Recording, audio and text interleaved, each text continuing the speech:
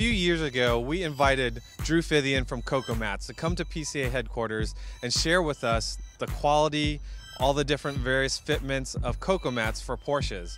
Today, we're here actually at Coco Mats production facility, and Drew's gonna give us an inside peek of how they're made. So come along. And here is Drew himself. Thank you. It's been a few years. Just a couple. How are you doing?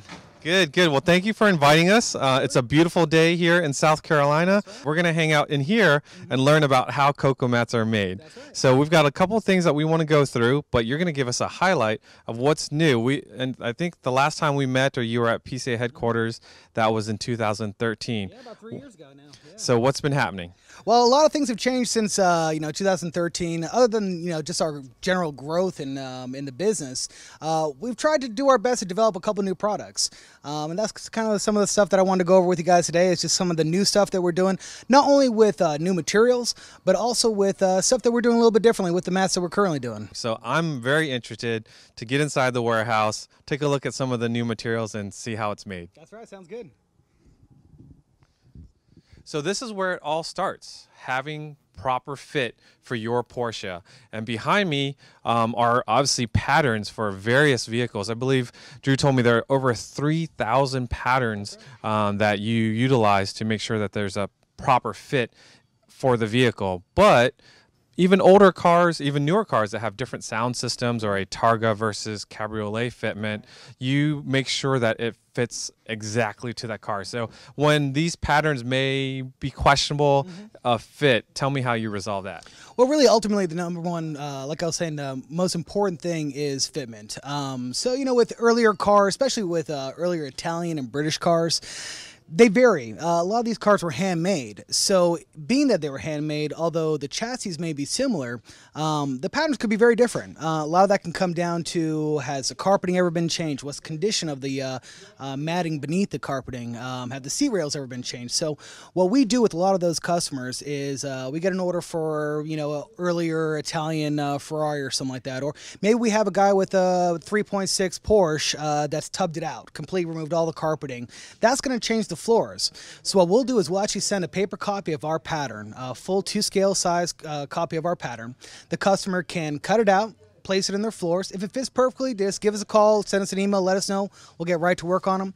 If not, they can actually modify those patterns to fit the car however they like, mail them back to us, and we'll custom make them to their specs. So now that you have the proper pattern, uh-huh. proper fit, so then what we do is we go into production, and this is where we'll actually probably just start taking a walk, sharing with you mm-hmm. how it goes from a raw, natural material into the finished product. So let's go. and pull this through. Just like ah, that right there. And then I'll take and then I'll take and tuck this under so that doesn't come back through. And then you have to look at it and make sure there's no more missing dots. Um, odd pieces like this right here, you want to pull that out because that's a piece of the husk that Drew was telling you about. You want most of that hard stuff gone. Like this piece right here, there's another piece that's stuck up. You just reach from the back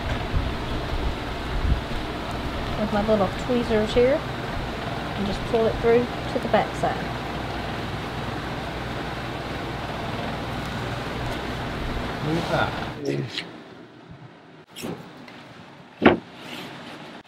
This is almost, you hate to show this because this is our showing how, how uh, we're not very automated. We're very old school. That's what people love. I think that's what our folks like.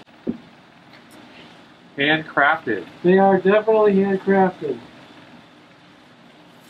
in the U.S. So we have to get our coco fibers in, in India. So that's not-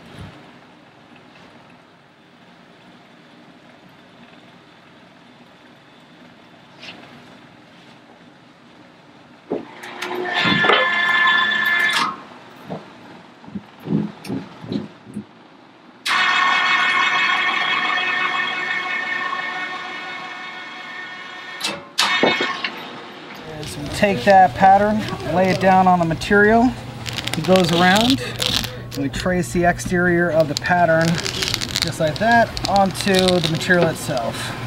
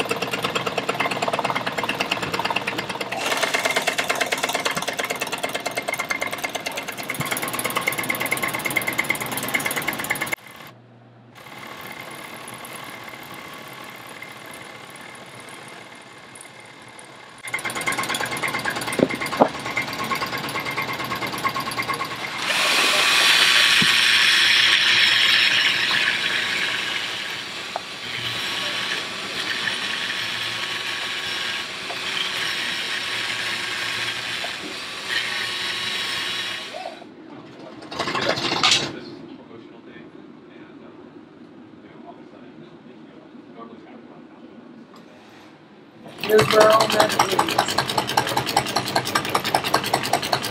Oh yeah, I've done it before where I cut it too short and I ended up that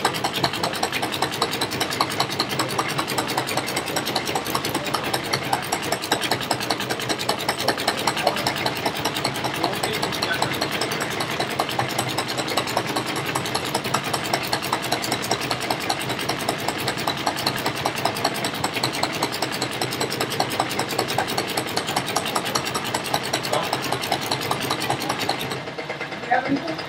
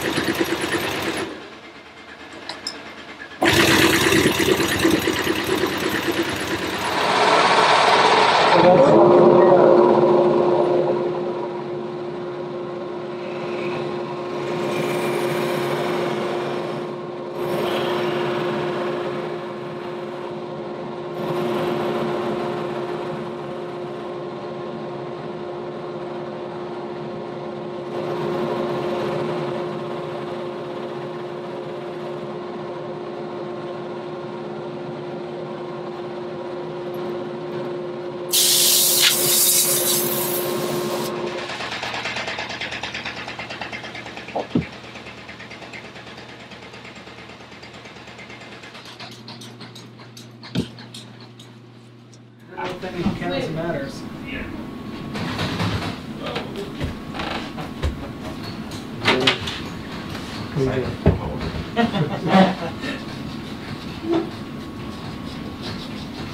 That just covers up any of the, the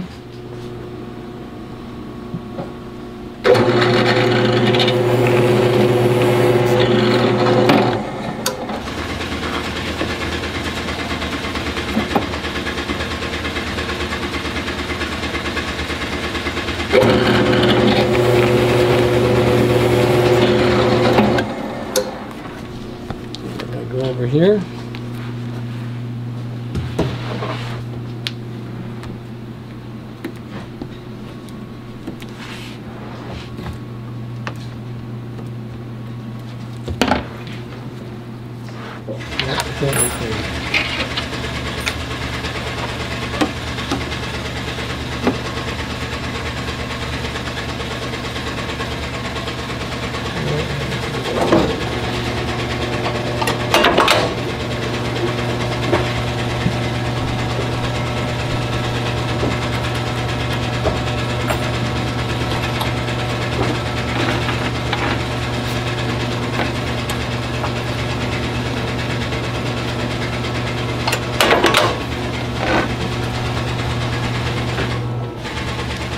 Now we go over here.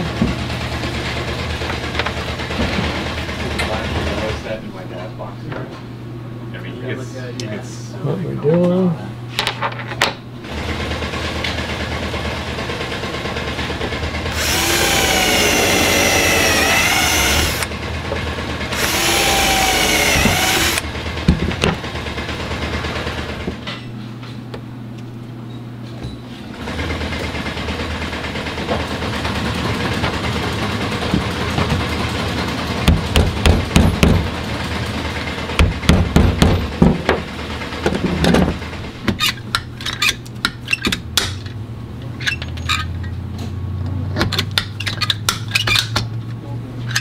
Now, I don't know if Drew explained why we do it the way that we did.